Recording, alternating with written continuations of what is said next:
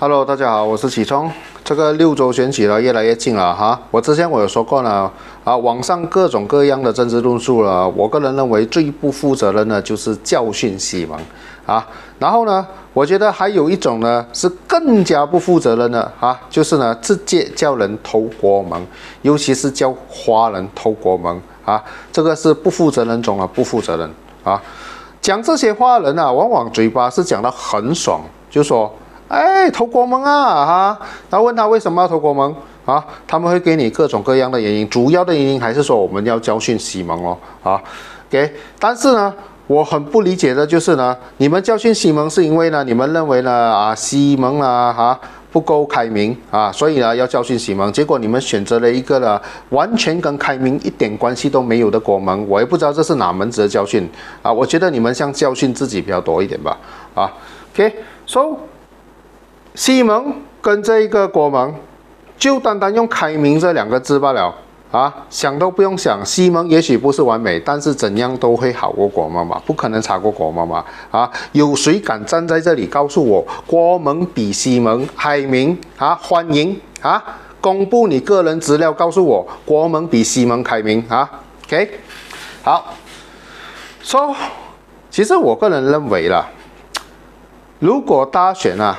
我们投国门啊，我们让国门胜了过后啊，啊，我们呢所面对的问题呢，其实不仅仅只是不可以穿短裤啊，啊，不可以赌博啊，不可以喝酒啊，不可以去戏院看戏啊，这些啊，虽然我们平时是听到烂了啦，哈，也许你会说，哎，那些都是拿来吓人的啊，哈，啊，我在这里，我还真的是要告诉你。我们所失去的东西，其实不仅仅是这些罢了啊，这些小儿科罢了啊，真的啊，不可以穿短裤，不可以去戏院看戏啊，不可以喝酒，不可以赌博，真的只是小儿科罢了啊。真正我们所失去最大的东西是什么？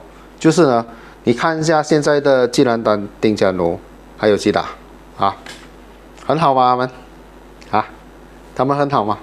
啊？你想回去，我们人民啊，在马来西亚这片国土上啊，我们最主要要求的东西是什么？我们作为人民，我们最主要的诉求是什么？就是安居乐业啊。然后最重要的就是呢，啊，有一个地方让我们好好的谋生，可以赚钱啊，养自己，养家人啊，就是这样吗？还有什么其他东西吗？应该没有了吧？OK，这是最基本的东西了啊。So 你想一下了，如果了这个国家还是哪一个州属啊，被这一个国盟拿去了过后啊，你可以想象一下了，这个国盟是用什么方式来治理这一个国家或者是州属啊？啊，主要的就是两种论述：宗教论述还有种族论述。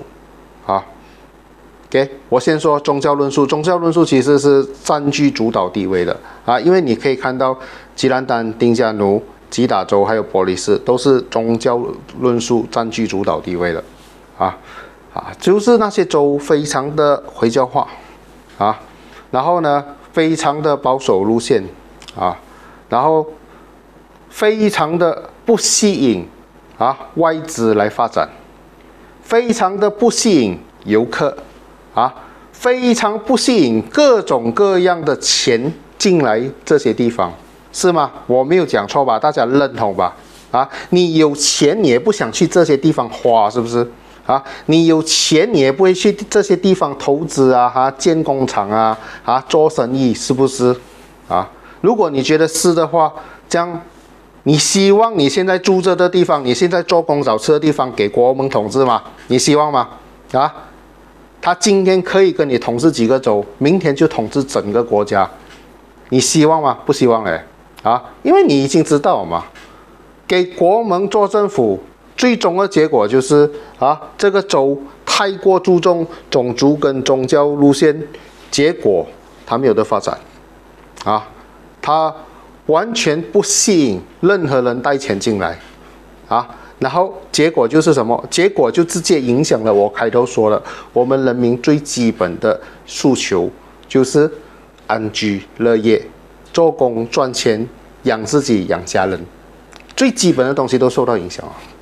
所以想到这里啊，跟刚才我们开头讲的啊，不可以穿短裤，不可以去吸烟看戏，不可以喝酒，不可以赌博，那些只是小儿科罢了。当你连赚吃都成问题啊，当你赚的钱变少的时候啊，那时候你才知道什么是大问题啊！你给我一个啊说法。国盟统治这一个州，或者是统治这个国家，可以让国家更加发展，让人民更加有钱。你给我一个论述，啊，有吗？如果有的话，我告诉你，我也可以投国盟，啊，但是有吗？你现在你有两个选择，左手是西盟，右手是国盟，你相信谁可以比较发展这个国家？啊，谁可以继续吸引外资？谁可以让啊？各地啊，都有人在那边做生意、建工厂，啊，你相信谁比较有这个能力？大家想都不用想哦，肯定是西蒙哦。西蒙也许不是完美，我必须一直强调这个东西。西蒙也许不完美，但是除了种族宗教方面，各方面都比国盟强啊！这一点我可以拍胸口说啊，西蒙除了种族宗教方面，各方面都比国盟强。有谁可以挑战我这句话啊？给那些说投国门啊无所谓的，可以怎样怎样讲？我还真的很好奇哦，投国门可以怎样怎样？请告诉我啊啊！我之前我做过视频，给我一个理由，为什么要投国门啊？一个理由就够了啊！我还在等着啊！啊，今天我就跟大家分享到此为止，谢谢大家，拜拜。